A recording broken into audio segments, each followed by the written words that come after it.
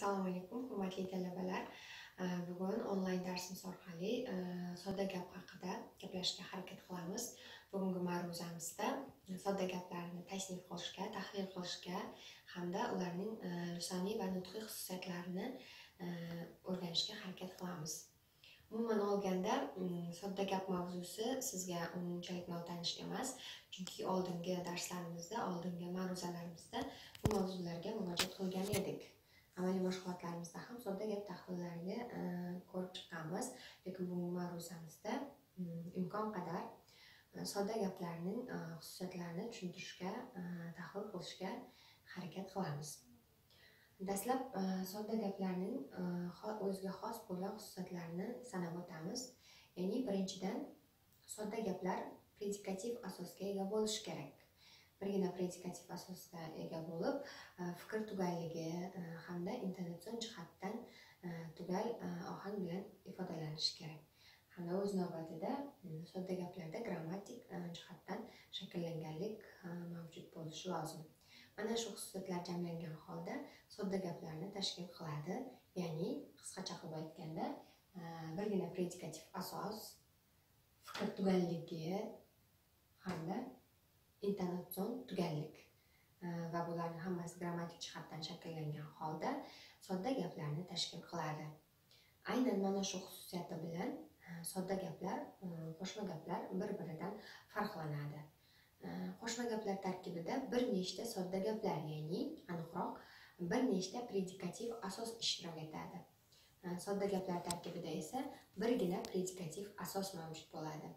Mayda shu xususiyati bilan ular bir biriga e, farqlanadi va bir biridan ajralib turadi. E, sodda gaplarni e, undagi ishtirok etgan bo'laklarga qarab biz guruhlarga ajratib o'rganishimiz mumkin. Ular yoyiq sodda gaplar hamda yig'iq sodda gaplar hisoblanadi. Yig'iq sodda gaplarda bosh bo'laklar ishtirok etadi yoki ega ishtirok etishi mumkin yoki kesim ishtirok etishi mumkin.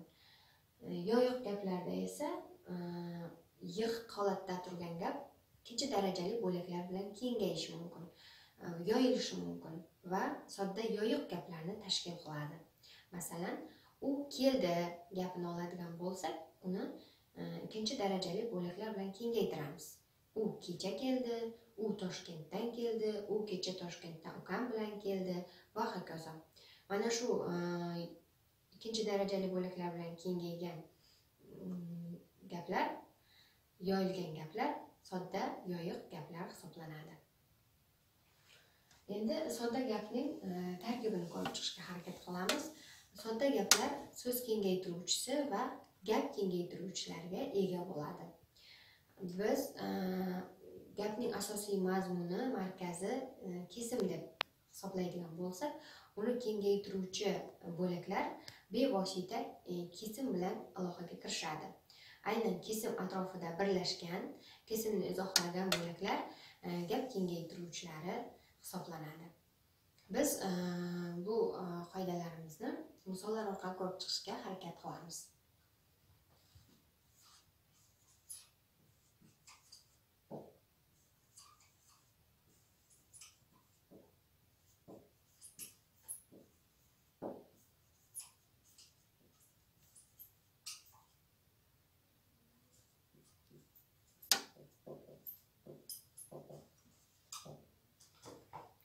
Bu yerda e, biz bu kitobni kecha o'qidik gapida. Asosiy mazmun markaz e, o'qi fe'li orqali amalga oshirilmoqda. Ya'ni gapning kesimi predikativ asosi o'qidik kesim o'qidik jumlasi. E, o'z o'zidan ko'rinib turibdi. Bu qism to'g'ridan to'g'ri ega bilan e, sintaktik aloqaga kirishgan. Ya'ni biz o'qidik. Biror bir harakatni ko'plik uchinchi shaxs ko'plik e, birinchi shaxs ko'plik tomonidan bajarilganligini ko'rishimiz mumkin demak kesimning predikativ asosning gapning predikativ asosining kengaytiruvchisi birinchi kengaytiruvchisi bu ega endi bu gapimizda kecha hamda kitobni singari yana gap kengaytiruvchilari mavjud bu yerda hol ya'ni kecha aynan mana shu harakatning qachon bajarilganligi haqidagi ma'lumot ma'lumotni ikkinchi kengaytiruvchi to'ldiruvchi mana shu harakat aynan mm, qaysi vosita orqali amalga oshirilganligini ko'rsatadi. Demak kitobni kecha o'qidik. Ya'ni kecha o'qidik kitobni o'qidik biz o'qidik shaklida e, sodda gapda gap kengaytiruvchilari mavjud ekan. Endi aynan o'sha gapda so'z kengaytiruvchisi ham mavjud bo'lib bu o'z o'zidan ko'rinib turganidek bu aniqlovchisi hisoblanadi. Bunda bu aniqlovchisi to'g'ridan to'g'ri kesim bilan aloqaga kirisha olmagan sintaktik aloqani ta'minlay olmagan bu aniqlovchisi bu yerda to'ldiruvchini aniqlashga xizmat qilgan. Qaysi kitobni? Bu kitobni. Demak bu yerda to'ldiruvchi so'z vazifasini bajargan so'zning kengaytiruvchisi aniqlovchi vazifasini bajarib kelgan so'z hisoblanadi. Mana shu holatda biz e, sodda gaplarni tarkibga ajratishimiz mumkin. Ya'ni e, gapning mazmuniy markazi bo'lgan kesim atrofidagi bo'laklar gap kengaytiruvchilar hisoblansa aynan uni kengaytirish uchun xizmat qilgan ikkinchi darajali bo'laklar kengaytiruvchisi esa so'z kengaytiruvchilar hisoblanadi egani kengaytirib kelishi ham mumkin so'z kengaytiruvchilari ikkinchi darajali bo'laklarni ham kengaytirib kelishi mumkin biz kesim kesim ifodalagan e, mazmunga mos ravishda wpm qolipiga solib ko'rishga harakat qilamiz ya'ni bu yerda wpm qolipi to'la aks etgan w bu lug'aviy ma'no anglatuvchi qism mana o'qidik so'zida o'qi lug'aviy ma'no anglatuvchi qism hisoblanadi pm esa kesimlik qo'shimchalari ya'ni mana shu o'qidik so'zida o'qi asosiy ma'no anglatuvchi qism bo'lsa o'sha ma'noni chiqarish uchun yuzaga chiqarish uchun xizmat qilgan kesimlik qo'shimchalari pm hisoblanadi bu yerda biz e, lug'aviy ma'no anglatuvchi qismni turli xil ko'rinishda o'zgartirishimiz mumkin. Unda e, buni o'rnini bosuvchi boshqa harakatlarni olib kelib qo'yishimiz mumkin. Yoz chiz bor kel singari bunda lug'aviy ma'noga grammatik ma'noga unchalik putur yetmaydi. Lekin pm ya'ni kesimlik qo'shimchalari e, o'rni almashtirilsa yoki boshqa yangi qo'shimchalar uning qo'yilsa bu yerda grammatik ma'noga putur yetadi. Gapning mazmuni ma'noviy ko'rinishi buziladi.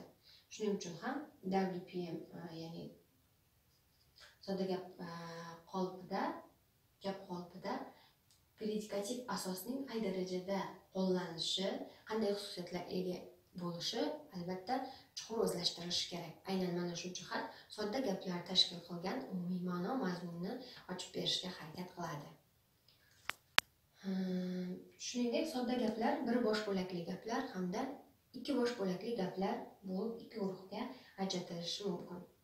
Bir bosh bo'lakli gaplarning o'zini biz yana ichki guruhlarga ajratamiz. Bular dastlab to'rt guruhga ajratiladi. Bularning birinchisi shaxsi ma'lum gap ya'ni kesimdan anglashilgan bajaruvchi ma'lum bo'ladi. Mana shu gapda masalan o'qidik harakatini bajaruvchi shaxs aniq. Bu harakat kim tomonidan bajarilganligi aniq bo'lib turibdi. Masalan o'qidik. Kim o'qidi? Biz o'qidik mana. Demak bu e, harakatning bajaruvchisi birinchi shaxs ko'pligi. Endi bir bosh bo'lakli gaplar shaxsi noaniq bo'lishi ham mumkin. Ya'ni bunda umumiy gapning mazmunida o'sha harakat bajaruvchi shaxs ma'lum ma'lumdek ko'rinadi lekin kesimdan anglashilgan paytda u to'g'ridan to'g'ri shaxsi noma'lum ekanligini ko'rishimiz mumkin. Masalan oyshani sotdilar.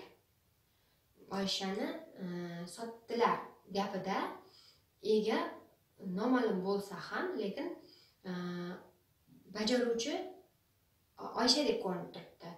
Bunday gaplarning asosiy xususiyati e, tinglovchini aynan shu shaxsga emas e'tiborni o'sha jarayonga qaratishga harakat qilinadigan gaplar hisoblanadi. Bunday gaplar biz shaxsi noma'lum gaplar sirasiga kiritamiz. Uchinchidan e, shaxsi umumlashgan gaplar. Bu gaplarda e, fikr ommaga qaratilgan jamoaga qaratilgan umumga qaratilgan bo'ladi. Bular ko'proq xalq maqollarida matallarda hikmatli so'zlarda uchraydi. Bunday gaplarning kesimi e, uchinchi shaxs birlikda yoki ko'plikda bo'lishi mumkin. Masalan yaxshi o'qi. O'z o'zidan ikkinchi e, uchinchi shaxsga qaratilgan birlikda shaxsni umumlashtirib turibdi. Yoki e, oz oz o'rganib dono bo'lur qatra qatra yig'ib daryo bo'lur. Mehnat mehnatning tagi rohat va hokazo to'rtinchidan shaxssiz gaplar yoki shaxsi topilmas gaplar. Bunday gaplarda ko'proq madal so'zlar ishtirok etishi mumkin. Yoki fe'lning majhul e, nisbat ko'rinishidagi shakli ishtirok etishi mumkin. I ib shaklidagi ravishda qo'shimchalar ishtirok etishi mumkin. Masalan mm, bu ishga faol qatnashish kerak. Ertaga e, vaznga borishimiz lozim. E, uylar chinnidek tozalanishi darkor. Singari gaplarda shaxsi topilmas ya'ni shaxssiz gaplar hisoblanadi. Yoki bo'lmasam ishlar albatta bajariladi. Mm, yoki vazifalar mm, ko'rib chiqildi. Singari gaplar fe'lning mashg'ul nisbat qo'shimchasi bilan ifodalangan shaxssiz gaplar hisoblanadi. Qadrli talabalar e, sodda gaplar haqidagi ma'lumotlarimizni yana davom ettirishimiz mumkin. E, sodda gaplarga e, xos bo'lgan xususiyatlar bu mavzudagi qilingan tadqiqot ishlari Э, ko'rgazma materiallar taqdimotlarimiz mm, platformaga joylashtirilgan. O'sha manbalardan foydalangan holda e, mavzuni chuqur o'zlashtirishga harakat qilasiz hamda berilgan topshiriqlarni vaqtida bajarib borishga harakat qilasiz. Uyga vazifa sifatida darsimiz e, so'ngida sodda gaplar e, tahliliga oid bo'lgan matnni havola qilamiz. Hamda bu matnni ko'rib chiqqan holda sodda gaplarni mana shu ko'rinishlarda tahlil qilishga harakat qilasiz. Agar tushunmagan savollaringiz murojaatlaringiz bo'lsa bemalol telegram kanallar orqali aloqaga chiqishingiz mumkin. Hozircha sizga yetkazmoqchi bo'lgan e, ma'ruzamizdagi ma'lumotlar shulardan iborat. Keyingi darslarimizda ko'rishguncha xayr.